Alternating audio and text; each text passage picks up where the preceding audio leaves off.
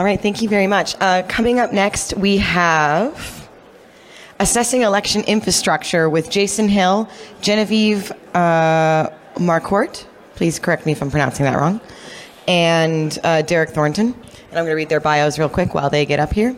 So, Jason Hill is the chief of the National Cybersecurity Assessment and Technical Services, NCATS, branch of the Cybersecurity Infrastructure Agency, CISA.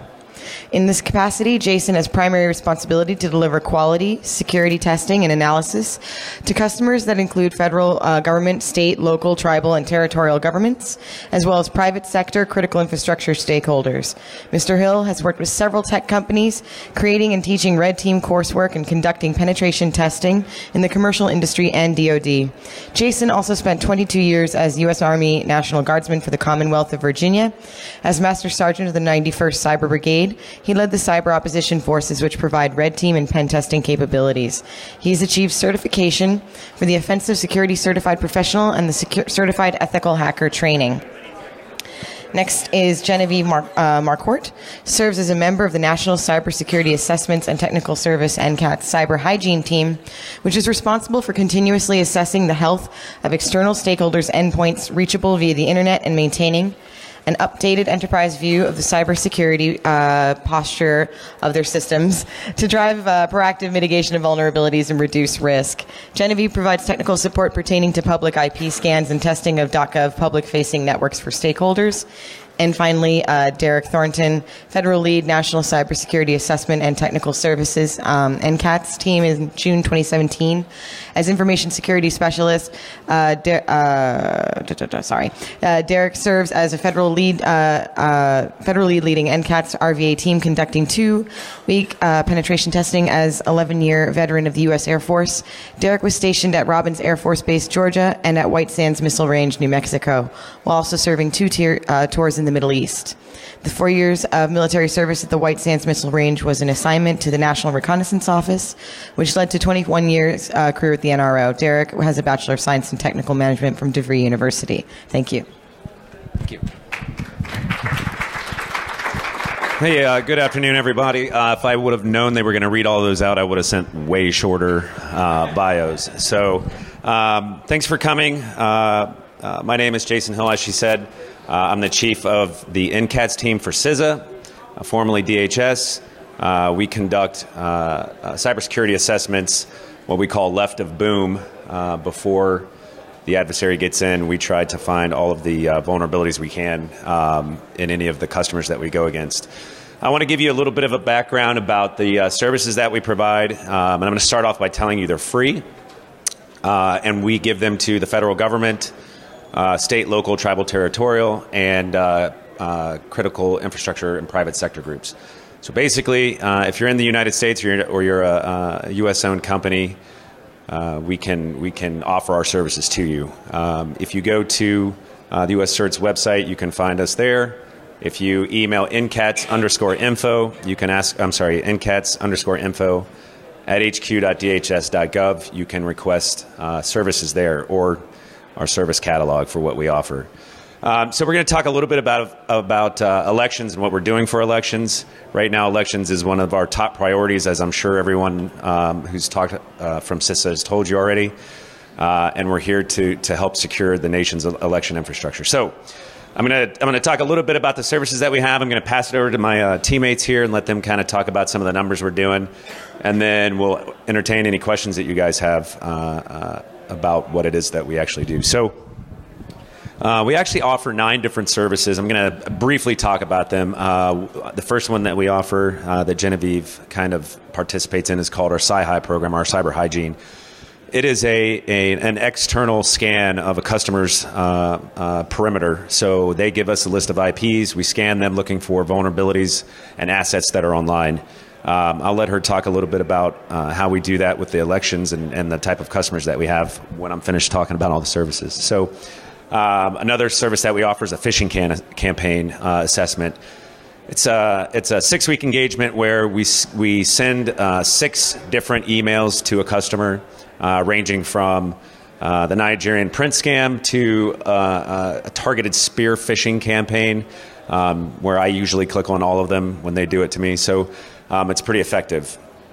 Uh, another service that we have is our, our RVA, a risk and vulnerability assessment. It's our two week uh, penetration test.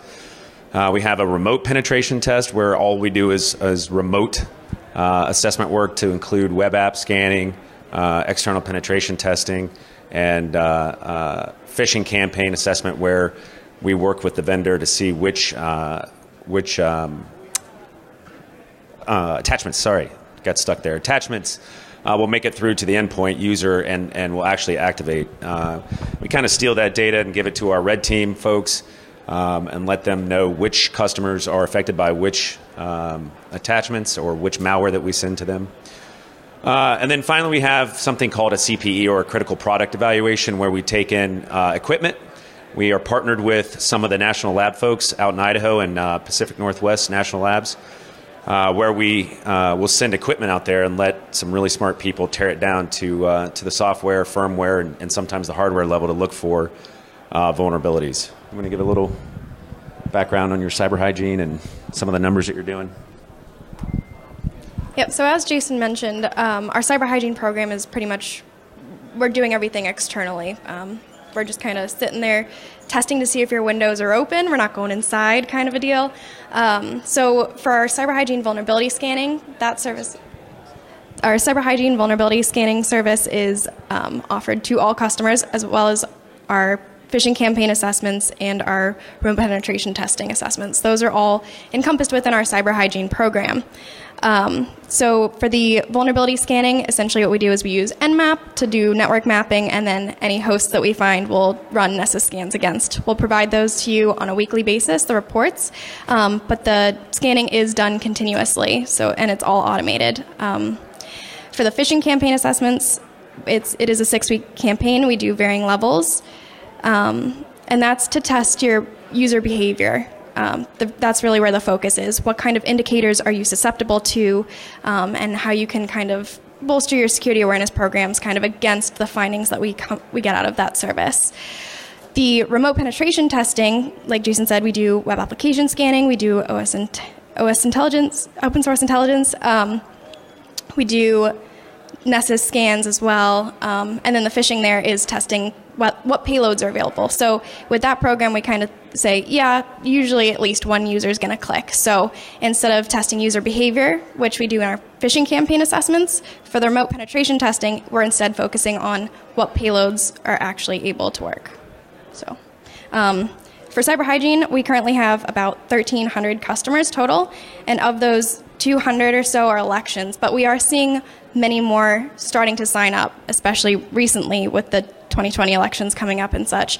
Um, there have been counties that have actually created directives for their Board of Elections to start signing up for our cyber hygiene vulnerability scanning services as well as some of our other services. Um, phishing cam- campaign assessments, we've done five this year, and there's still three more in progress. And then for remote penetration testing, we've completed 25, and we've got 20 in progress currently for those. So Genevieve kind of mentioned uh, we've got a couple of states that have reached out to us and asked uh, for our help. Um, a couple of uh, one of the states has actually directed its 80 some odd counties to come get our services. The issue with that is, is that we have limited resources to do this. Uh, we've got a team of about 64 uh, federal employees. Uh, we also employ a couple of contract companies um, that help us force multiply. Uh, but currently, we can't do uh, uh, that entire state's um, 80 some odd counties with all of the services that we do. So what we've done is we've offered to those counties and to those states that are asking for our services, we're offering them um, the cyber hygiene program. Right now, we have roughly 1,300 customers in our cyber hygiene program, and we can scale that up to about 6,000. So roughly, there are 3,007 counties in the in the United States. Uh, so if all of them wanted to sign up, they could. Uh, one thing that we didn't mention is that all of our services are voluntary, so we can't make anyone sign up for this. Uh, with the exception of the federal government, uh, they they have to sign up for for cyber hygiene, uh, and so so getting kind of back to the back to the uh, the states. So what we're looking to do is we have another group within um, CISA called Methodology. Uh, it's a branch that is designed to bring in um, uh, entities from the outside. So, for instance, if a state's National Guard unit is a cyber unit, um, they can come to our facility and kind of learn our methodology and then go back to their states with that methodology so that the states can reach out to their own folks to help secure their election infrastructure. Um, so what I want to do next is kind of turn it over to uh, Derek Thornton. He's a he's a Fed lead with our RVA program, our Risk and Vulnerability Assessment program. Kind of let him talk about that program and, and the numbers that we're doing, and, and then and then uh, we'll talk about what we're actually seeing out there in regards to elections. Thank you. Um, so I am part of the Risk and Vulnerability Assessment program and we do assessments um, on different entities, not just elections, but we do infrastructure, we do uh, we do private companies. So sorry, we do private companies. Uh, we also do infrastructure. Um, we do. Um, man, I'm forgetting this here. Anyway, we we have. Uh, I'm kind of thinking off the top here. So it's a two-week assessment. What we do. Uh, first week is external we do that um, from our labs. And what we do is fire off everything we can external. We try to go for your web applications. We try to go for your open open services, open ports that we may see. And we also launch a uh, phishing campaign. So we'll do a pen test that includes phishing. It's not to the degree of uh, the six week program that they have. Ours is two weeks, so we're pretty loud. Um, the reason why that is is with two weeks we cannot be as quiet as say a red team. So we are not a red team. Um, red team is a different part of our group, but um, so we do two weeks is external. We do the from the, pen, the external pen test. We do um, also internal. That's on site at the customer location. We'll get in there and try to see if we can plug into the wall. If, a, if for instance, a janitor could a janitor plug into the wall, see how far the he can get. Uh, we also test uh, if a user with uh, regular admin credits, with regular credentials, how far could that person get? Could a regular user get in there and do damage to your system? Uh, we try to go in there and do that too. We also try to see if we can pull data out um, and and uh, see if it can be passed outside of their network. The whole idea is to is to bring up uh, an idea of where do you stand as far as risk management is. Do you have any risk? Can you manage the risk that you have? Can you mitigate the risk that you have? And that's what we're trying to do with the uh, RVA portion, portion of it. Um, what we want to do is just uh, we want to touch base and hit everything that we can externally, internally, and we let the different organizations within uh, CISA handle the other groups. So all of us work together CyHy is part of this, everything. And everything that we do kind of gets combined, and they can have an overall status of uh, how they look from, from a network point or from an internal point. Oh, okay. Sorry about that. Um, as far as the number of RVAs we've done, we have completed 12, and we have two, two more to go. Uh, those are upcoming. And then fiscal year, of course, all of that resets, and we, we do more. Um, but like he says, we do have limited resources. It's hard for us to get as many as we would like, but that is changing. Uh, one of the other things that we do is uh, it's that critical product evaluation. So Derek mentioned we did 12 uh, election entities already. Um, that's where we go out to these these localities, the states, the counties, and we uh, we assess their election infrastructure. Uh, one of the biggest issues that we're finding is that a lot of these places um, they don't have their election infrastructure turned on, uh, and they turn it on the night of the election. So they, they will put their uh, equipment out, they will uh, uh, gather the votes, they will tabulate them, and then they will send them to wherever they need to go. And that entire infrastructure set is not turned on uh, for the rest of the year. So um, in that way, it's it's secure until it's actually turned on, uh, and then we're not sure yet how they're securing that or updating that uh, uh, infrastructure. Um, and it's pretty different between the the, the customers that we see. Uh, we kind of talked about the CP or critical product evaluation. We've done two of those already. One of them was with a company called Unisyn. Uh, and another company called ES&S. So they brought their equipment out to our labs in Idaho, uh, and we tore it apart We looked at the uh, the vulnerabilities that we could find within those pieces of equipment, and then worked with those vendors to help them come up with a mitigation plan. Uh, these two vendors have publicly acknowledged that they've done this, uh, and we have one more that's in the works. that's being done right now, uh, uh, having their equipment uh, broken down. Um, I think that's it. Is there anything else you wanted to talk about? So, uh, when we talk about the numbers that we're doing, um, it doesn't seem like it's a lot. Like I said, we have 64 folks uh, that are doing this work. Uh, and with our RVAs, we can only schedule out 90 of those per year with the, based on the resources that we have. Out of that 90, 30 of those are gone, go to mandated federal assessments that we do called high value assets. Uh, and then that leaves 60 discretionary uh, assessments that we can conduct yearly. Uh, and out of that 60, it's based on uh, uh, voluntary election folks that, that come seek our services. So that's all I've got for our presentation, what we're doing as far as securing uh, the election infrastructure of the country. So if there's any questions, we'd be happy to answer them. Yes. Uh, I can't really talk about who has reached out to us. NCATS underscore info. N C A T S. ATS underscore info at hq.dhs.gov. So, yes, sir, in the cowboy hat. So you guys offer these services. Are there any initiatives that you're like reaching out to the counties, letting them know that these services? We do. Uh, again, I, I, we don't have very many people. We don't. We don't have a traveling roadshow that we go out and, and meet with these folks, but we do go to various uh, uh, different places like um, there's a CIO council that we visit and talk. We go to InfraGard. There's um, the election ISAC that we go to and, and, kind of talk about our services.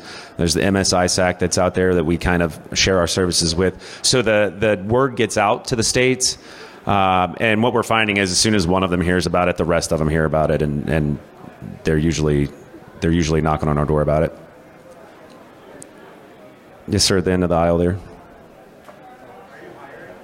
Yes, we're always hiring. NCATS underscore info.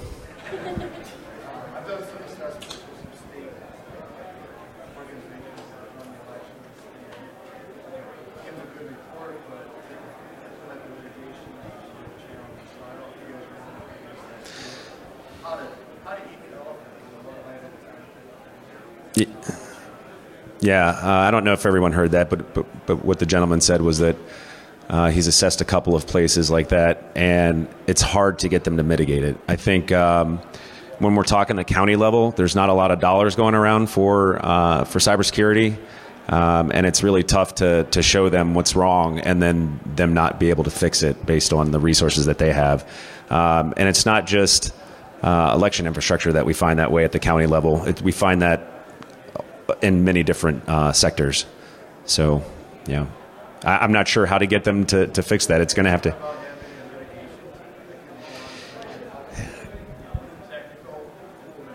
Yeah, not not inside of uh, not inside of NCATS, and, and I'm not sure if that's something that CIS is going to want to do in the future. I mean, it's kind of a it's kind of a hard thing to do. Uh, yeah, sorry.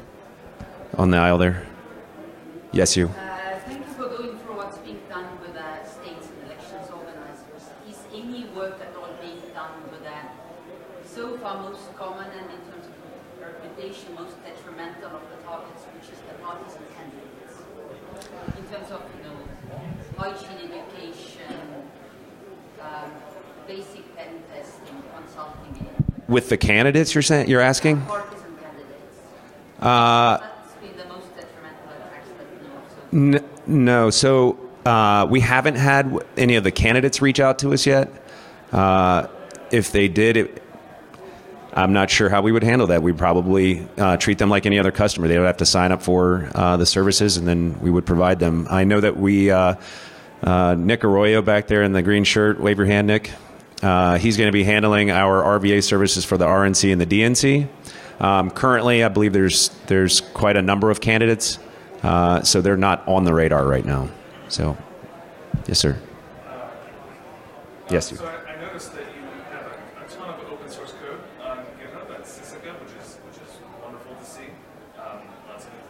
on stuff, integration with Lambda. Um, one of the things I noticed was you do a lot of HTTPS scanning, and election websites are pretty miserable about that in the country. There's been some public reporting on that, but it's also just pretty easy to see.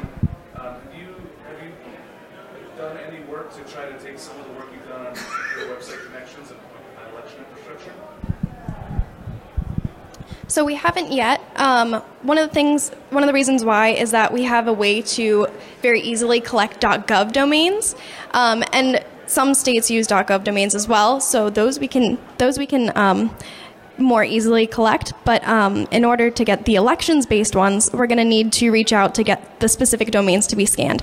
Um, we are looking at doing that in the near future but we don't really have an ETA on that. Um, essentially, what we'd probably do is create a private GitHub repo that we'd be able to pull from, like where we'd put our the domains to scan. Um, because we don't want people knowing who our customers are necessarily, because then that could make them a target. I think. Yeah. So so our services are voluntary. So one of the things that we give back to the community for them to volunteer for our services is anonymity. So uh, we give them the privacy. We don't want to put out. I'm right now. We don't want to put out who's coming to us, along with whether or not they have issues. Anyone else? Yes, sir. For those that do have issues in aggregate campaign names, what are the common things? Lack of matching or something? Yeah, I'm glad you asked. Uh, so, phishing is the number one issue that we run into. Phishing susceptibility and phishing weakness is what we call it. So, the people first, and then the, the infrastructure, security infrastructure for uh, to handle phishing payloads and, and links. Uh, and then uh, patching would be the third biggest issue that we're finding. Um, again, these are small counties in a lot of places, and they don't really have the, the IT staff to, to handle some of this work. Uh, and sometimes, just like anywhere, it's not a top priority.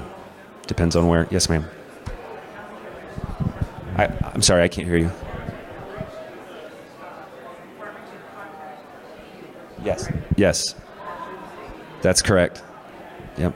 Derek, did you want to add something? Um, yeah, another thing that we've noticed as far as uh, weaknesses, um, admin passwords. Ad, admin passwords. Too many credentials as a baseline. We've seen a lot of uh, admin passwords that are just elevated for no reason. Lot, I'm sorry, user accounts with elevated passwords. Anyone else? Yes, sir.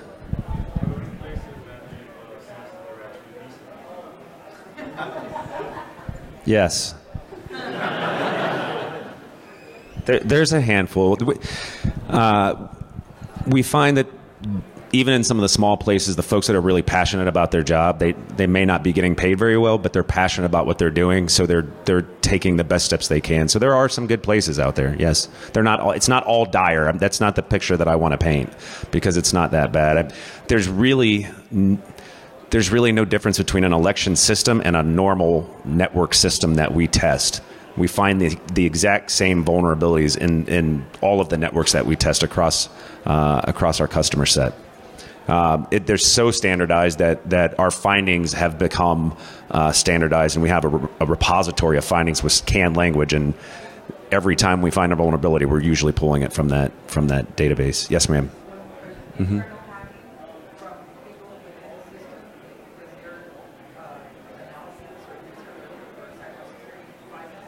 Uh, not our group. Um, I can give you one example. Uh, recently, we were at a, an elections uh, location and we found uh, evidence of ransomware. When we find that, when we find that, thank you. When we find that type of stuff or uh, evidence of, of, of, a previous breach, we will contact the customer, let them know, and then we CISA also has a threat hunting group um, who will come in. We call them right of boom. So after something happens, uh, they can go assist the customer in, in, cleaning that up or finding out what happened and, and rolling it, walking it back to, to what the issue was.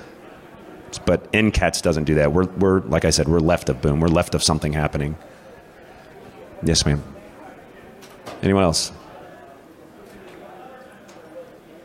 Okay. Well, thank you very much.